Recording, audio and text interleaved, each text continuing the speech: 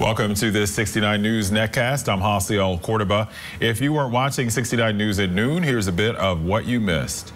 Lehigh County Technical School in North Whitehall Township closed again for the fourth day in a row after it received another threat. The school closed last Friday and again Monday.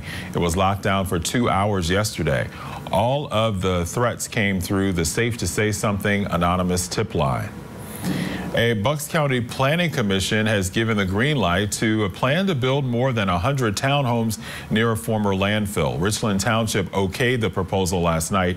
It calls for 104 townhomes on the 600 block of East Pumping Station Road. That's next to the former Watson Johnson landfill.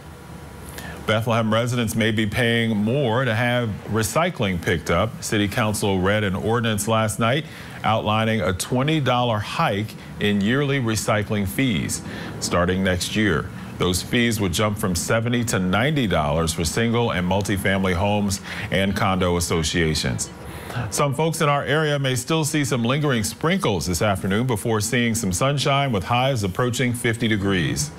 For more local news, watch 69 News or get updates at WFMZ.com. With the 69 News Netcast, I'm Jaciel Cordoba.